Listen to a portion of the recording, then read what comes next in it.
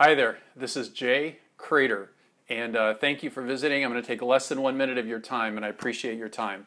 So, let me invite you to my webinar. Uh, it's called The Five Myths of Internet Marketing Revealed um, How You Can Thrive Online and Travel the World.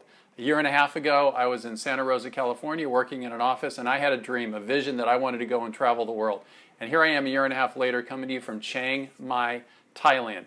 During that time, I've coached over 3,000 people to help them get their internet marketing business started. I've learned a few things, things that people think that aren't necessarily true. So I'm going to bash those myths and teach you some things that uh, I think can help you quite a bit. As a big thank you, I'm giving away my book, my ebook, which is called Slow Down and Take a Breath, and my amazing five day um, introductory meditation course. So just click right here, get started, and I will see you on the other side. Okay, bye bye.